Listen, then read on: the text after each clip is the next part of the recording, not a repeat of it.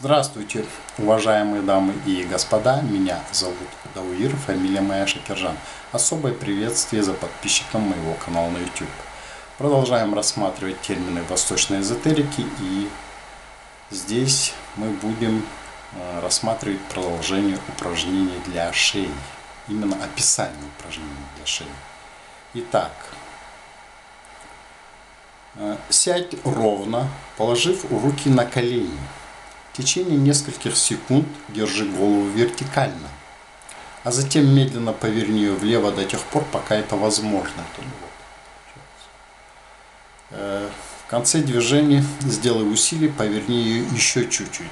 Вот в самом таком положении крайне еще чуть-чуть надо повернуть. Тебе это удастся, потому что в действительности она может поворачиваться больше, чем ты думаешь. Затем медленно верни голову в прежнее положение так, чтобы смотреть, э, смотреть прямо перед собой. Ну, вот из этого положения вот сюда, да. А, как и раньше, поверни ее немножко больше, чем э, перед собой. Сделай паузу на несколько секунд, а затем поверни голову вправо. Вот так получается. Как и раньше, поверни ее немножко больше, чем тебе кажется возможным. Еще добавить. Проделай это так, чтобы ты практически почувствовал, как ржавчина осыпается с твоих костей, как скрипят и щелкают шейные позвонки. Повтори это упражнение несколько раз, а затем сядь снова ровно. Можешь ли ты сидеть как-то по-другому после такой прекрасной разминки? И сделай несколько глубоких вдохов. Это должно быть по-настоящему глубокие вдохи с задержкой дыхания на промежуток около 10 секунд. Подышав так в течение минуты, наклони голову влево как можно сильнее и постарайся коснуться ухом левого плеча. Это вот так получается.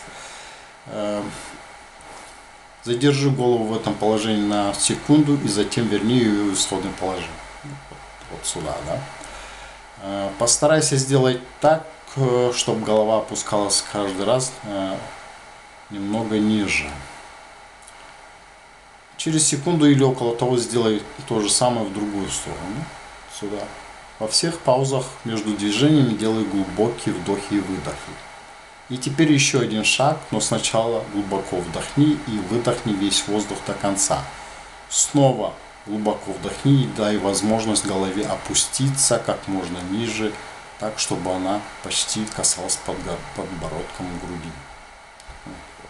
Вот, так, да? Дай голове вернуться в исходное положение и оставь ее так на некоторое время, а потом после нескольких глубоких вдохов наклони ее как можно дальше назад. Ну вот. Для того, чтобы не причинить себе никакого вреда, все эти движения не следует выполнять слишком быстро. После некоторой практики ты сможешь делать их все быстрее и быстрее. После окончания этой серии упражнений сядь и подними руки так, чтобы они коснулись затылка. Теперь помассируй шею большими пальцами пальцев. Шею, да? Э, ты заметишь, что это помогает улучшать самочувствие и сосредоточиться. Следует подчеркнуть, что все описанные мной движения не имеют никакого отношения к метафизическим вопросам, как и любые другие физические упражнения. Все они полезны для тела, и на Востоке ты не встретишь ни одного адепта, который бы занимался ими по каким-то метафизическим причинам. Оккультные упражнения должны быть э, по самой своей идее чем-то совсем другим. Они не имеют никакого отношения к физическому телу.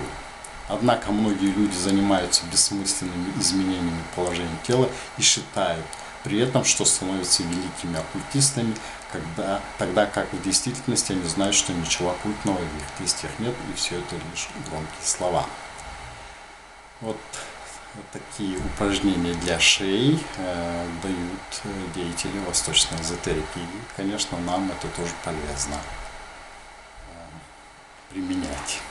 Именно для физического тела. На этом до свидания, до новых встреч.